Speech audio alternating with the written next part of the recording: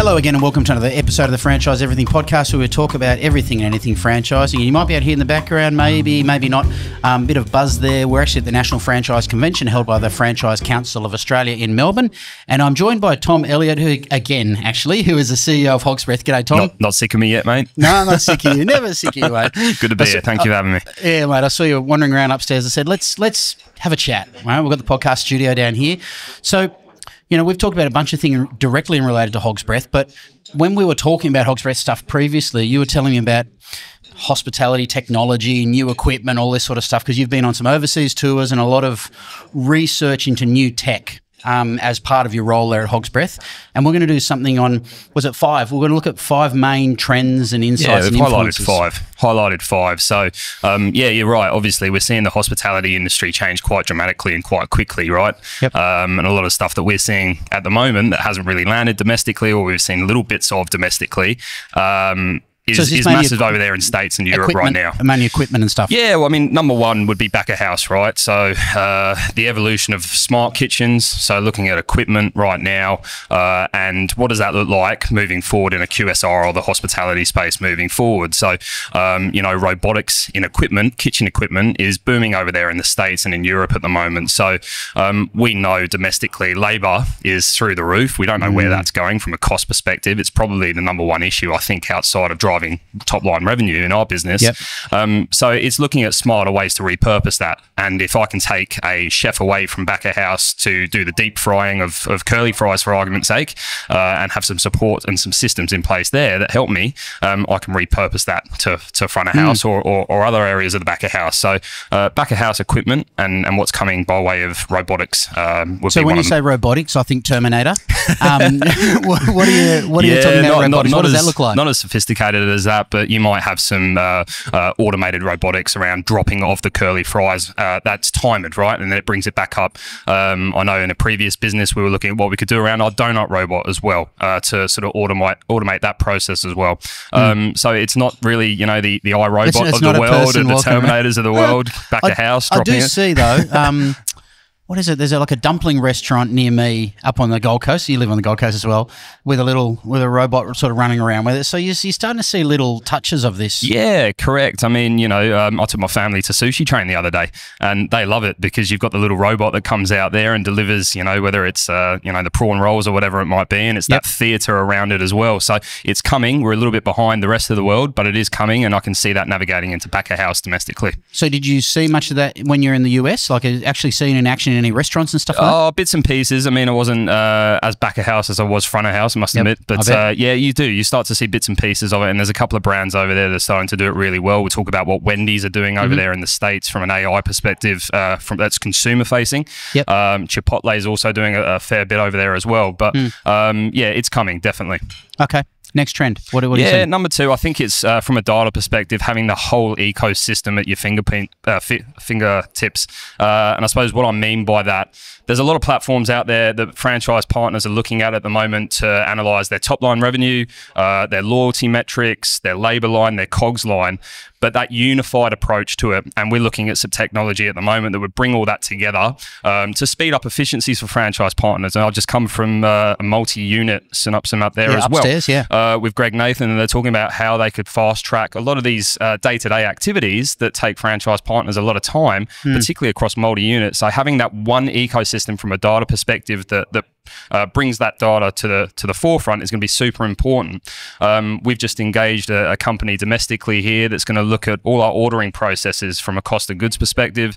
So we'll see obviously the labor line come in, we'll see the cost of goods come in, and we've got a dashboard at the fingertips that helps us with menu engineering. It helps us with pricing analytics and all that type of thing. So number two would be a, a one fits all or, or, or fit for purpose ecosystem around data.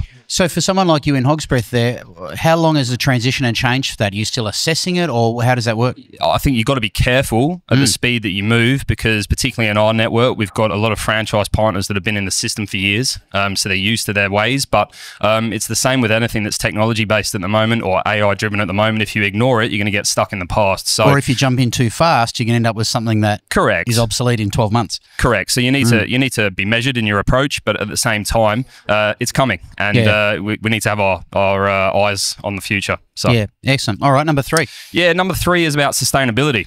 Now, sustainability isn't just about packaging um, or the message that you put on your coffee beans. Uh, we're talking about energy sustainability moving forward. So, mm. again, um, you know, cost of power, particularly in this country, is rising. Um, you see it on the P and L lines. Uh, we we are one of those fortunate franchises, Oars, that uh, manage to see P and Ls monthly from the from the whole system. Um, so we can see what it's doing to the bottom line of the P and L. Um, so this is about infrastructure from a uh, uh, efficiency perspective, mm. whether it's it's electricity or power or whatever it might be. Um, there's a lot of stuff happening over in the States and Europe at the moment uh, to help with that. So what, what sort of things are looking at? Is it, is it changing equipment over or is it the way that new, new equipment is made? I mean, because like you see, you know, uh, new devices come out, new new watch comes out or whatever, and the battery powers whatever. Is that is that the type of evolution you're talking about? Uh, and then it above. takes time for it to be able to come yeah, through before you can change energy. And then we talk about, you know, data again, having the ecosystem and being able to see when you're at peak levels or when you're at low levels in your efficiency as well, mm. particularly around power. Um, there was a, there was an app that I saw over there in the states that was particularly of good use for that to manage your labor levels or manage your, your production levels efficiently. Um, mm. So all that stuff's coming, and sustainability not just within your packaging or within mm. your uh, remit of your products, more so around your your back of house operational equipment. Yeah, because that, that that power stuff is a real creeper, isn't it? You don't I, I can imagine the days. Um, you know the days when you go to places and the lights were on everywhere. You know, a building had the lights on all over the place. Yep. It was that's just the way it was. And now everything's dark. You walk in. I mean, I suppose it's auto switches as you come in, which is great, which is thing. But um, it's certainly obviously top of mind for many people. Absolutely, absolutely. Uh, number four, predictive maintenance of your equipment. Okay. Um, I used to run 55 restaurants uh, across the country that were corporately owned. Uh, my worst nightmare was the coffee machine going down in a Gloria Jean's on Boxing Day or the donut robot going down in a Donut King on Christmas week. Yeah. Um, you can and prepare dropping, dropping 40%, 50%. Yeah, yeah that's right. You can prepare for a lot of things in the retail and hospitality environment. You know, lack of staff, lack of stock. You can you can alter your, your product mix and your labor mm. mix uh, to, to cover for those. Uh, but if a key piece of equipment goes down, um, you know, you, you, you, you, you're really in trouble. You're screwed. And, and those stores don't have the ability for redundancy, like to have uh, just correct. a second coffee machine or a third coffee machine sitting there ready to go. Yeah, correct. I mean, you, you wouldn't rock up to McDonald's and, and be without a Big Mac, would you? So no. um, it's those those key IP pieces of the product mix that are super important. So uh, predictive maintenance. So um, imagine your equipment can speak to you and would tell you when they're in a bit of strife and operating at 50, 60%. We're seeing a lot of that technology uh, start to land here domestically. It's been used in Europe and the States mm. uh, quite a fair bit. Um, so for us, being able to deploy that so that, you know, if it's an oven or if it's a grill in a hog's breath uh, mm. environment, um, we don't want one of those going down. That's going to cost us 40 or 50% of our product mix yeah. and our revenue for the day. Um, so, so being able to get ahead of the curve. Are you talking retrofit? Yeah, sensors, beacons, those type mm. of hmm. things. Um, having the data at your fingertips, again, through a cloud-based based app um, so that you can see maintenance schedules, you can see uh, the output of, of, certain equipment and sh- are they operating how they should be. Um, so predictive maintenance is a big one that I think brands will start to invest in and franchise partners will start to invest in more so, uh, again, just for downtime mm. and efficiency purposes. That's interesting. When, when, you said to me before this predictive maintenance, I don't think it really registered what it was because obviously we have preventative maintenance. Yes. That is the manual maintenance of stuff according to its manufacturer's warranty specifications. But yeah, this is a whole different thing. This is about identifying the risk upstream so mm. that you mm. can do something proactively about it to um, exactly avoid the the scenario that we just spoke about, which mm. was uh, a donut robot clonking out on Boxing Day uh, when you do 2,000 cinnamon donuts to go out the door. Yeah. Um, so it's about getting ahead of the curve type scenario. Excellent. Fifth one. Yeah, the last one is is obviously consumer centric. So how AI is playing a role in the guest experience, um, and we know it's evolving rapidly here. Um, but what, what we did see over there in the States, and there's an example out of uh, Asia as well, uh, I'll give the Wendy's AI partnership that they've done with Google uh, mm-hmm. for their drive through location. So um, obviously, they're allowing a lot of repurposing of labor uh, by taking voice orders um, and, and, moving the traditional sort of drive through uh, type scenario that we, you would have uh, domestically here. Um, so whether it's number plate res- recognition, voice recognition for that repeat customer and those new customers. So um, we're seeing that over the state, over in the states around drive-through.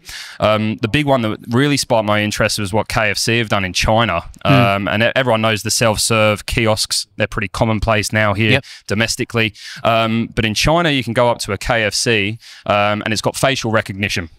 You can smile by paying. At the camera.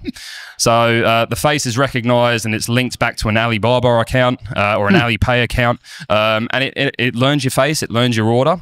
Um, and what they're also doing is uh, recognizing demographic, age, gender, and then being able to predict certain elements of the menu that you might want to consume. Um, so that's stuff that's happening in Asia and overseas. Uh, it's only a matter of time before a brand brings that over here domestically, and uh, we'll start to see some of that cool stuff happen. As we know, technology from a customer perspective is Hmm. don't know if evolving so rapidly. I don't know if it's cool or scary. Um, A bit of both. yeah. so how do you see that playing out in, in your space? So you're you're a, quite a different experience. How do you then? Because I suppose from an executive perspective, you're supposed to have the vision and everything like that. How do you then take all that information and bottle it and say, right, let's adapt that for us? Yeah. Well, you don't. I mean, all of these types you don't want the dining experience to become um, something that it shouldn't be. And by that I mean people comes to Hog's Breath for our hospitality. It's for Mm-hmm. that customer service. They expect a certain level of expectation. Um, so they want to be able to have rapport with their server. They want to be able to ask questions and have a bit of banter. Uh, but equally, we know that the new generation that's coming through is very tech savvy, uh, and they want seamless um, sort of transactions from a customer perspective.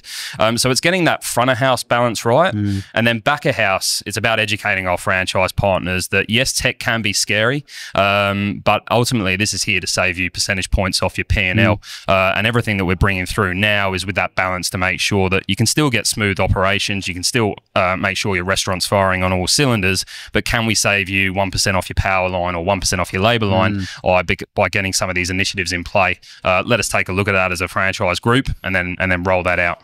So is your plan potentially to, um, when a new store's coming online, to really unleash a little bit of some of this stuff and then use that as a test, prove proven case like a case study, and then present that? Yeah, absolutely. I think um, you know corporate locations are obviously a very good vehicle of that, but um, we, we do need some franchise partner buy-in as well. So uh, new locations, absolutely. There's got to be a bit of uh, tech-enabled sort of systems and operations in place um, because we want to set those restaurants up for the future. Um, So you know there'll be a bit of retrofitting of that back into the the existing network as well. And you've seen a fair few of our Yes. locations now, Airlie Beach and and Cleveland's of the world. So uh, new tech into restaurants that look um, you know sort of 5, 10, 15 years old um, is going to be pretty pretty interesting to see Yeah. how how that adapts from How a franchise adapts, partner yeah. perspective um, and then also a customer perspective as well. Excellent. All right. Do you want to throw in any more insights, or you you No. happy with those ones? No, no, I think That's that's it. That's the lot. All right, Tom. All right. Thanks, Thanks, again for joining us, mate. Appreciate Thank it. you. Cheers. Hope you enjoyed that one. We'll catch you in the next one soon.